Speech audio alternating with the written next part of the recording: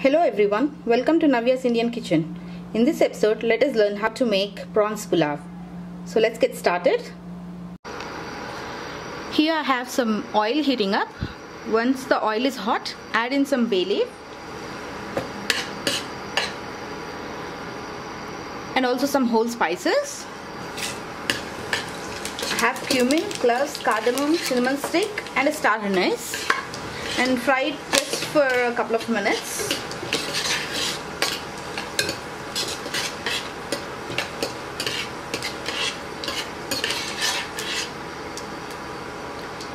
Next here I have uh, sliced onions and uh, green chilies. Add them.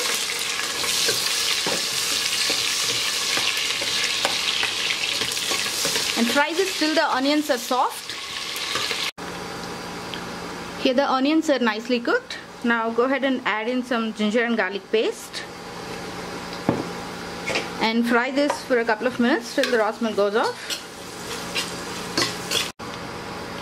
After 2 minutes, uh, here I have a, a large cube tomato. Add that in.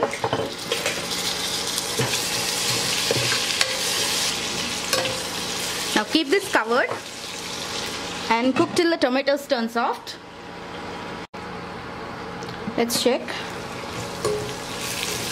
Tomatoes are nicely cooked. Now into this, add the deveined and cleaned prawns.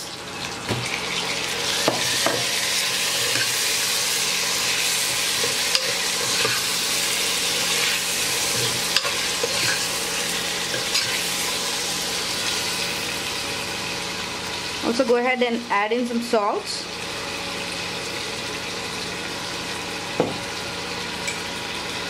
Turmeric powder.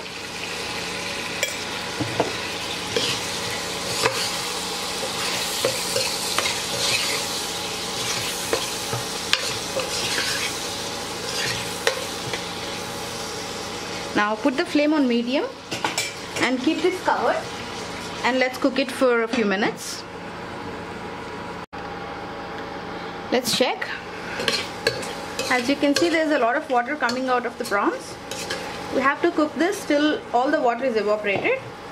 At this point go ahead and add in the mint and the coriander leaves.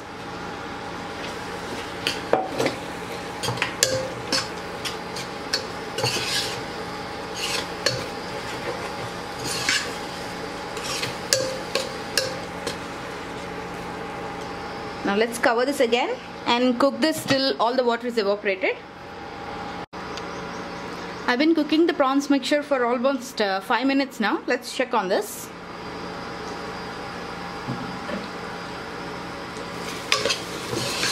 As you can see the water is almost evaporated. At this point go ahead and add in the rice. Here I have uh, 3 cups of uh, basmati rice that I've been soaking for almost an hour now. Go ahead and add, it, add this in.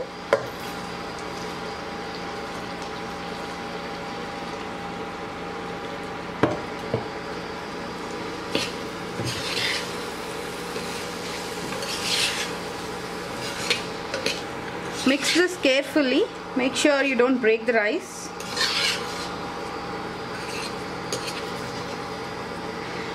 Instead of using basmati rice, you can definitely go ahead and use just the Sona Masuri. That will work as well. So, for every one cup of basmati rice, I'll be adding two cups of water. So now go ahead and add the water.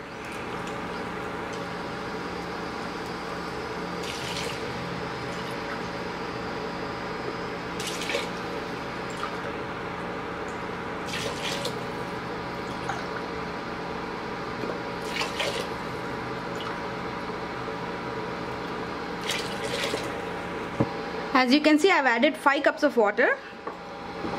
For the last cup what I did is I took 1 cup of uh, thick coconut milk.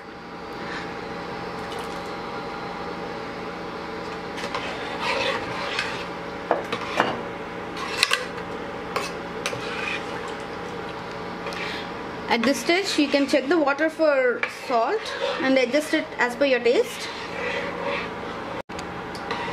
Now let's put the lid on.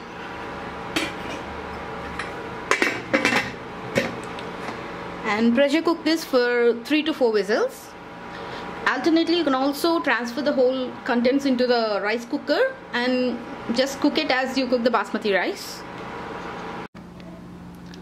I got 4 whistles and once I switched off the flame I let it sit for 30 minutes till all the pressure is gone. Now let's check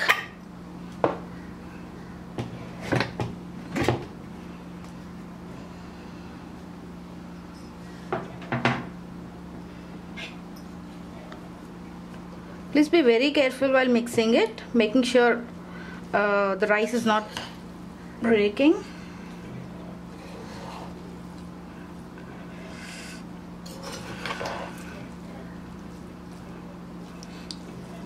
As you can see my pulav is ready. Transfer it into a plate and serve it. Thanks for watching